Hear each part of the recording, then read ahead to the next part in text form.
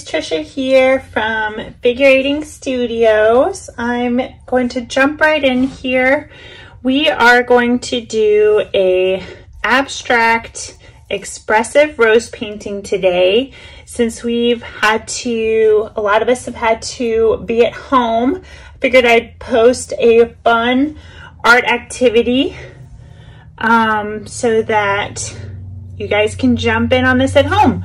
All you need is a kind of medium type filbert brush. A little bit rougher would be good, but you can definitely make do with whatever you have and maybe some small miscellaneous brushes. You also just need primary colors, yellow, red, blue, and you need a little bit of white. You could also have a paper towel and a cup of water at hand. And this is a piece of canvas paper. You could just use regular paper, something thicker would be better. I've done like a gray ground, but you could do it right on white, whatever you want. All right, so we're just gonna jump in here and I'm just looking at a photograph of a rose, but just kind of winging it too. So I will post the flower that I'm looking at so that you can have it too. So we're just gonna start out with mixing a little bit of yellow into red. So we're just warming it up a little bit. Okay, and with that, we're gonna do, start a base layer on our rose. So we're just gonna kind of start the middle of our rose and then work our way around. Now roses are kind of a spiral shape, so I want you to kind of feel out what the spiral is gonna be. Is it gonna be scooping around this way? Is it gonna be coming around this way? Whatever you wanna feel out. And try to use lots of paint, lots of uh, volume here, kind of impasto style. We're just gonna work our way around. So this is our base layer light and loose, but lots of paint. It's almost like a gesture style. Okay, now as we go out from our rose, I want us to go a little bit lighter. So we're gonna create a tint, which is any color plus white. Do like a medium pink. All right, and we're gonna work it out.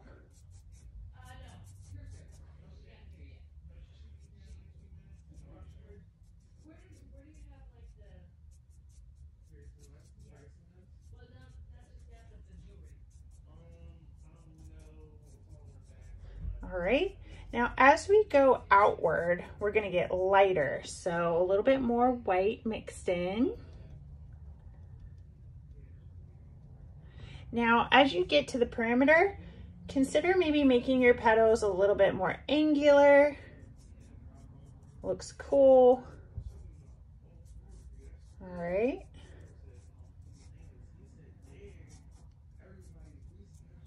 Right, that looks nice. Okay, so that's our base layer. And notice I'm just kind of feeling it out. I'm letting it flow. I'm responding to the canvas as I go. This does not have to be a certain rose. Just want you to have fun with it, you know. It helps to kind of choke back on your brush a little bit. Like don't be up close to it.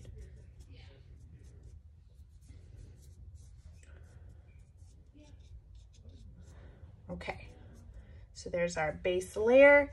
Now let's go ahead and do like a little rose over here in the background. This one we're gonna keep really like out of focus because it's kind of in the background in my reference. So I'm just gonna block in a little bit of expressive kind of light pink.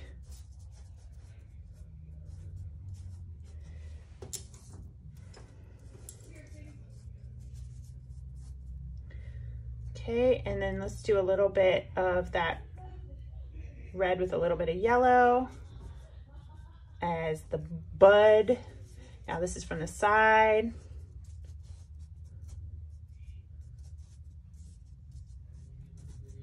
And maybe a little pure red here. I'm kind of dabbing, I'm turning my brush, having fun with it. Okay, so now we're gonna add a little bit of depth, all right? So we're gonna start to add some shadows and some highlights. But usually with shadows and highlights, if we're doing expressive especially, we're not gonna use black. We're gonna keep it more of a cool tone or a complement. So either, you know, purples and blues, or we're gonna do some kind of opposite of what's there. So we're gonna do both here. Um, I'm gonna do a little bit of purple. So we're gonna scoop a little bit of red and a teensy bit of blue. Darker colors are always stronger. So we're just going to do our ratio accordingly. Okay. And I've got a nice cool purple. And I'm just gonna kind of decide, well, where's my spiral? How about right in here?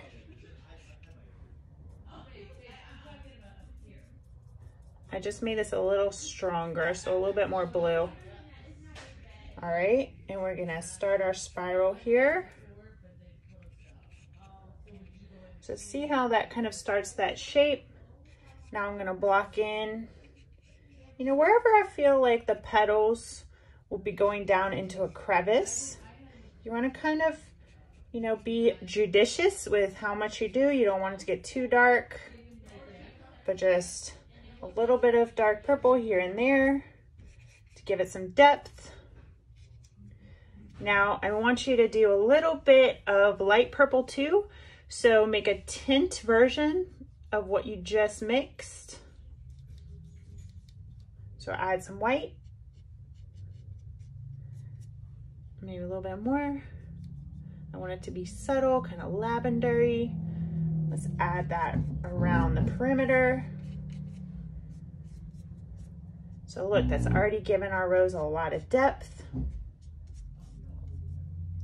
Remember, kind of stick to more angular on the perimeter, like the edges of the petals would be. Maybe we'll go ahead and throw a little bit of that on our out of focus sideways background rose over here for fun. Maybe a little of the dark. And notice I'm not really cleaning my brush. I'm just working wet on wet here, real loose, real fun, no stress.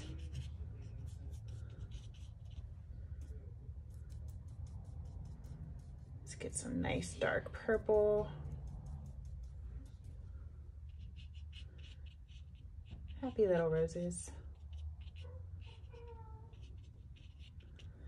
All right.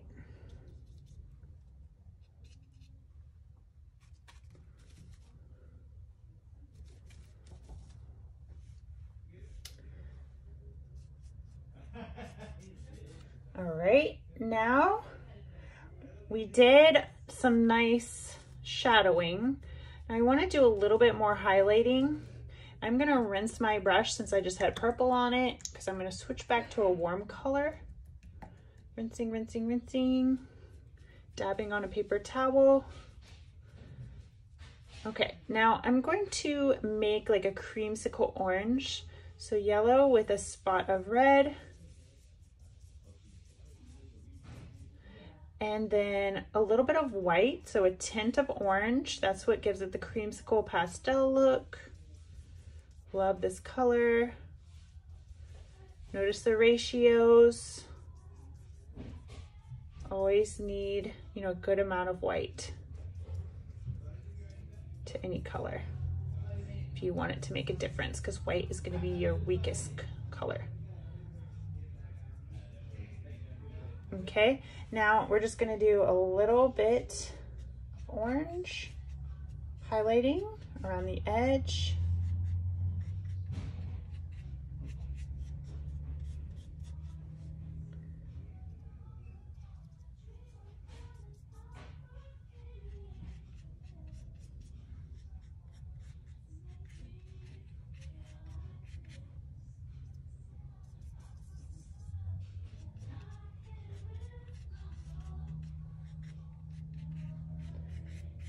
A little bit in the center too. So we're just, you know, continuing to layer, continuing to add depth. Maybe you work on that little spiral shape a little bit. Maybe add a little bit to our out of focus rose too for fun. Ooh, I like that. Okay.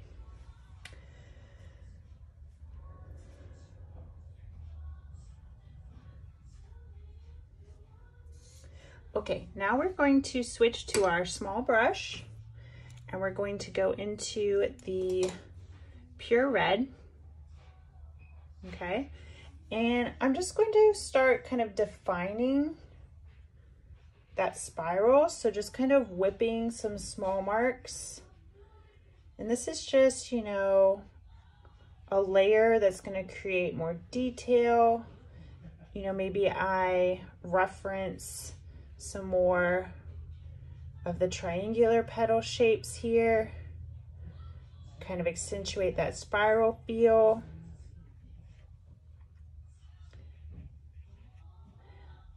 However you want to define your rose. This is your rose. It's kind of like pick out those petal shapes a little bit and respond to your painting, you know, like if this is a shadow, then, you know, your petal shape is going to come out from that shadow. Think about where the crevice would be. So you want to focus this red detailing mostly in the center and kind of leave the soft edge on the outside.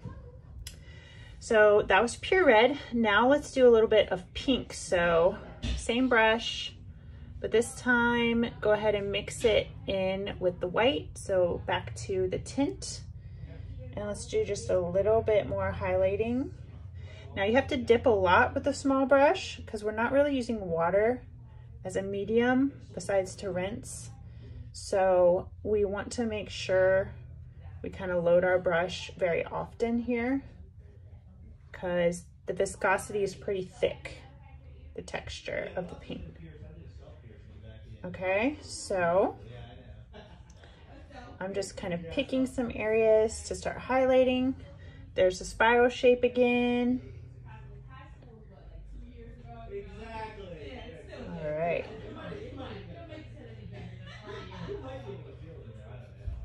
Sounds like they're having some fun out there. We're making the best of it in these tough times. All right.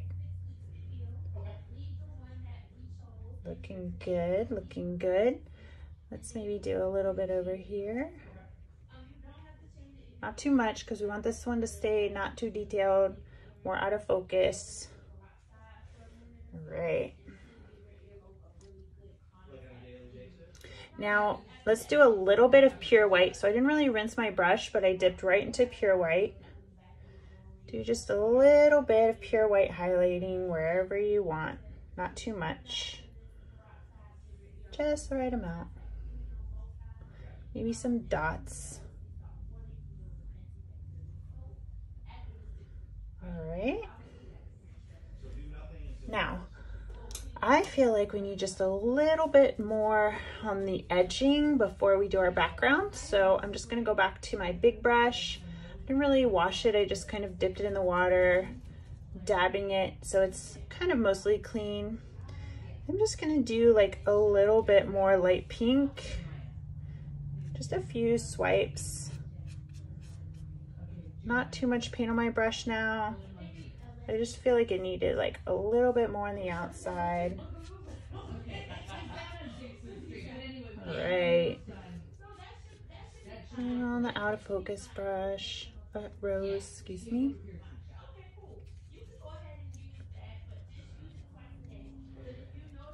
Okay. Awesome. Maybe like some expressive type shapes, you know, get funky with it. And I'm doing that by just turning my brush. Do that a lot in my art when I Just want to give it a little fun movement and texture. Remember when you're painting to follow the direction of whatever you're painting. So your mark making echoes the shape of the object and that's in drawing too. And I'm just gonna finish off our rose with just a little bit more of the light purple. Some dabbing. All right, now to do our background, we're gonna do a little bit of green, but we're gonna use a trick here that I recommend to my students a lot. So green is what? Yellow plus blue, right? More yellow, less blue. You can use a palette knife to mix because we're working kind of quick. I'm just using my brush, but always care for your brush. Don't get it too deep in your bristles. All right, so kind of adjust that green to be a darker green. Now that's a nice green, but I feel like for the vibe of our painting, it needs to be more natural, more dulled down. So what is the trick for that? You can actually add the complement. So the complement of red is the, or the complement of green is the opposite, which is red. And by opposite, I mean on the color wheel. So they're complementary colors. Look what happens when we add that red. It's a lovely, lovely dulling natural green now. Okay. And we're gonna finish out our painting wherever you want with some expressive green action. And you can slightly change it as you go. So I just added a teensy bit more blue just to you know, have a nice change up. And it's up to you how you want to do this. Do you want it to look like petals, you know? Do you want it to allude to that? Or do you want to just keep it loose, like random brush strokes? Do you want to try the squiggly, expressive twist back? Maybe some dabbing.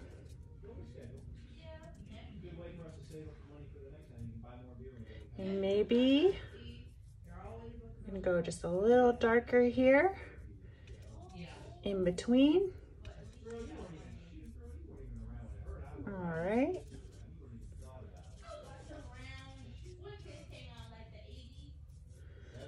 There we go.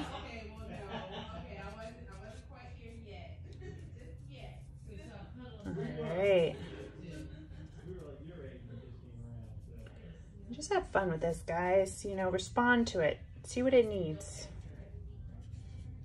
A little layering. Maybe you do like a smidge of yellow. Maybe you mix it in, maybe you don't. Maybe you do a smidge of white. Maybe you do a smidge of pure red and kind of dab it in. Give it a little pizzazz, a little magical edge. Key is to have fun and let yourself loose. You know, look how my hand has been constantly moving. I'm looking at my canvas, I'm responding.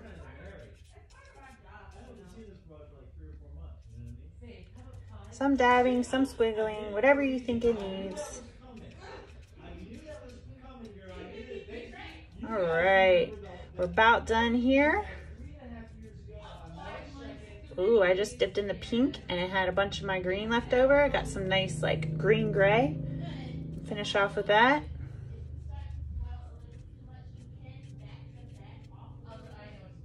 Mmm, that's nice on the edge. That's nice. Maybe even a little into our rose. Ooh, that's nice. That nice. Right.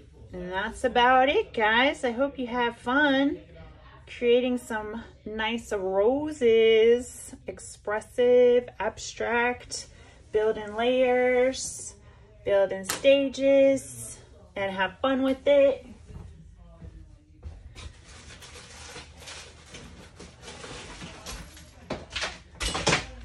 If you want to get real crazy, you can always add a little bit of mixed media on top. So you could do a little bit of pearl powder. You could do a little bit of gold or silver or rose gold leaf. Maybe you just crinkle a little bit on top. My students know I love gold leaf, gold in general. So pretty much, if there's an opportunity, I'm taking it. You can use a dry brush and apply a little bit of powder. This is green pearlescent powder. Give it a little extra texture or whatever you have at home. Fun.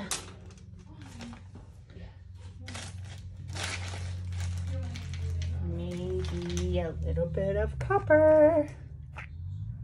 Ooh. Right. All right. Maybe a little copper on the roses. If the paint's still wet, it'll stick by itself.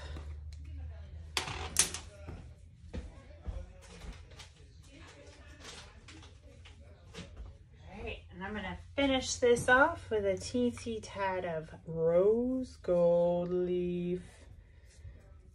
Just got this. Now, if you wanna do this after it's dry, you just use the glue. Important to let the glue sit for a few, but I'm just going to apply a little bit very loosely, almost like sprinkled on to the wet paint.